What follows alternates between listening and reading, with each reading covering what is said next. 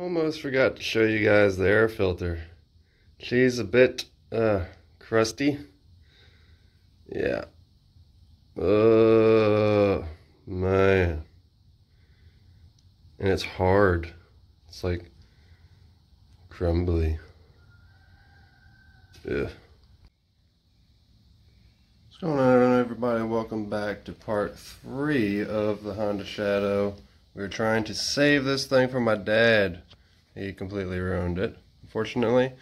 Never changed the oil. He went through four tires and no oil changes and no air filters and no spark plugs and put some lights on here that fried the entire wiring system. They put a new wiring harness on it and it's not running on the front cylinder.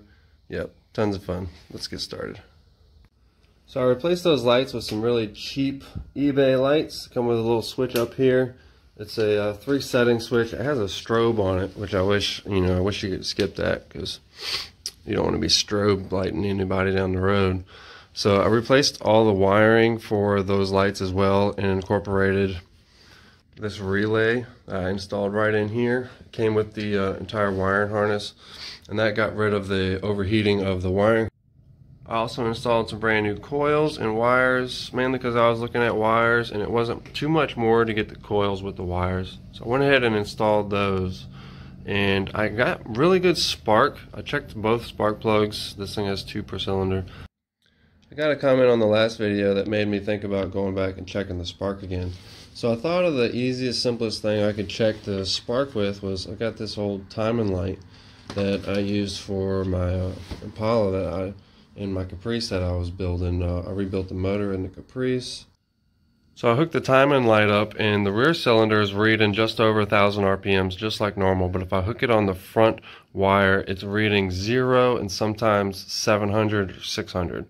So there's something going on with the spark and I came back here and I unplugged this while it was running. This is the coil igniter and when I unplugged this one, it did nothing, absolutely nothing. And I unplugged the other side and the bike completely quit. So I think I might have a bad coil igniter.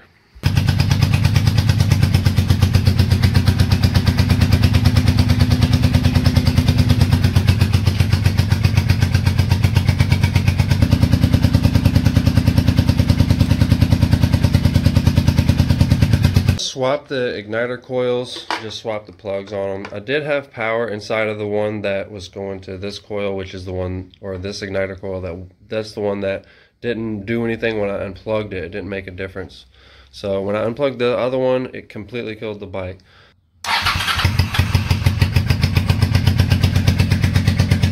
So it's still running on that back cylinder pretty good. Nothing on the front. So there's something else going on. I pulled this plug out again, took this uh, wire back apart just to check the connection. I did find a little bit of fiberglass stuff down inside of there, but that connection in there is still pretty good, and this one doesn't look too bad. I'm going to put this spark plug back in here, check the spark again. This spark plug was soaked in gas and oil. it looks like it's got a little bit of puddling in there, so and there's also a fresh fresh little sign of uh, oil right there and running down the side of the heads. So yeah, she definitely needs a rebuild, but we're still working on that issue of getting this front cylinder. Ooh. Forgot that thing's shooting right in my face. Better unplug the other side. Well, I just discovered that the other side is completely cracked. Awesome.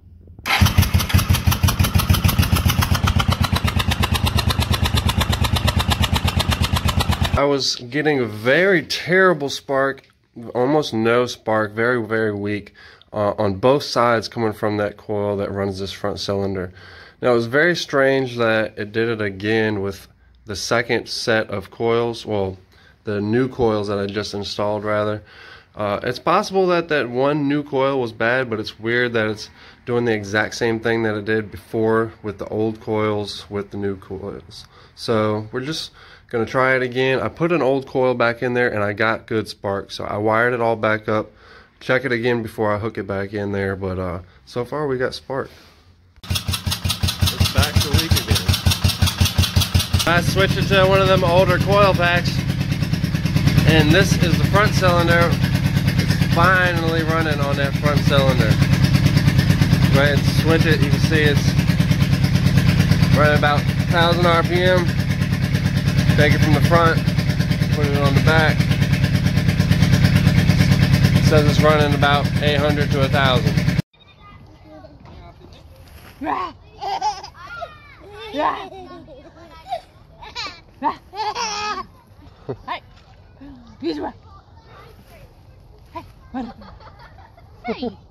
And I'm pretty sure that's the one from the rear cylinder that was on here before.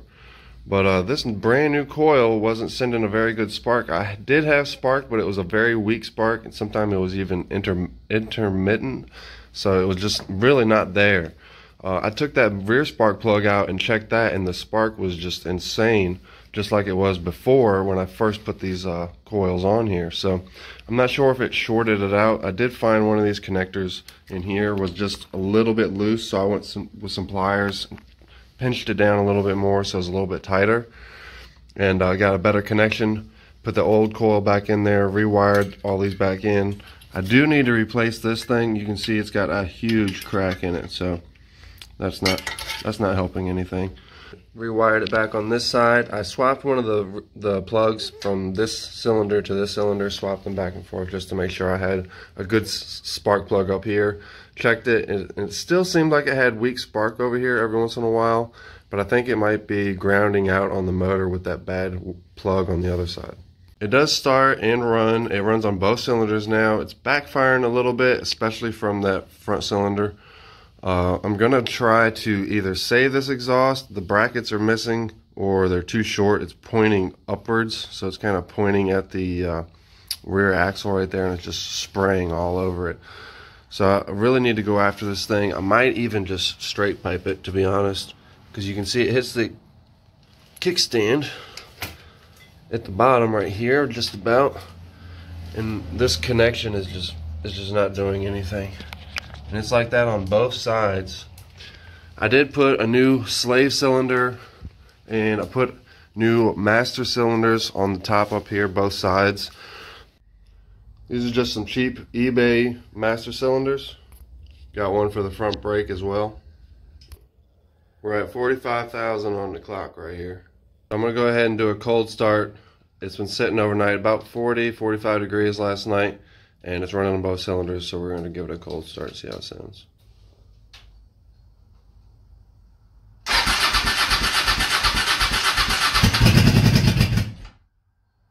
a lot better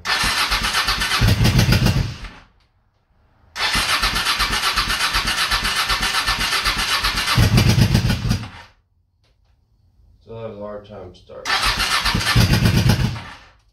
might be all the intake leaks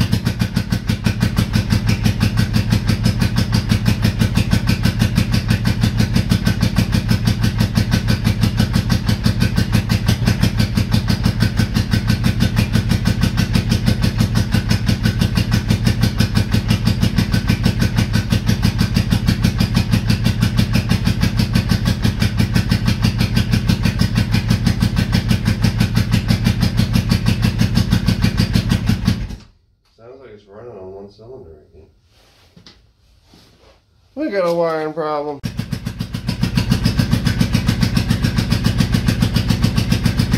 sounds like it's still missing on that front cylinder. Every once in a while. It is slow on compression as well.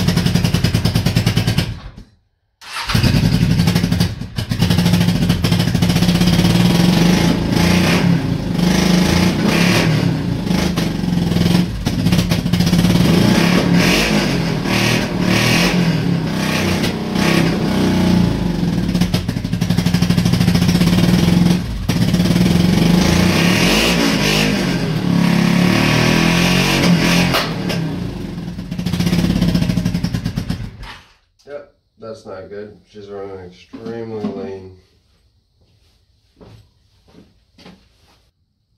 Well, thanks to my little timing light trick, I was able to figure out that I didn't have spark on that front cylinder. Also, thanks to a comment that made me go back over myself and recheck something that I'd already done. I do need to put new spark plugs in this thing. I'm I'm sure that'll help. Um, these spark plugs are, you know, the same ones that he put about 15, 20,000 miles, four tires, and zero oil changes on. So maybe maybe new spark plugs. So next is going to be fuel, I guess. So we're gonna have to figure out if it's getting enough fuel. It just sounds like it's just popping and everything. Obviously, it's not getting enough fuel. Run maybe running a little bit lean. It sounds like that cylinder is coming in and out. Uh, I am getting spark now, so fuel problem probably. I got my booster box that has an on-off switch, and I've got it wired directly to the fuel pump, and I've got the main fuel line disconnected here. You just need to run it for five seconds, and then multiply by 12, and then you get your your fuel ratio for over a minute, how much this fuel is pumping out. Uh, I think it's going to be pretty weak because that pump is very old and all I've really got is this baby bottle, but this will do.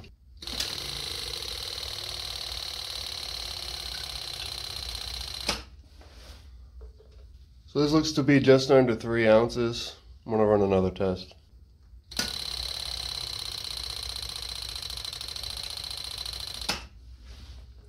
You hear the pump uh, kind of click off there for a second. It almost stopped.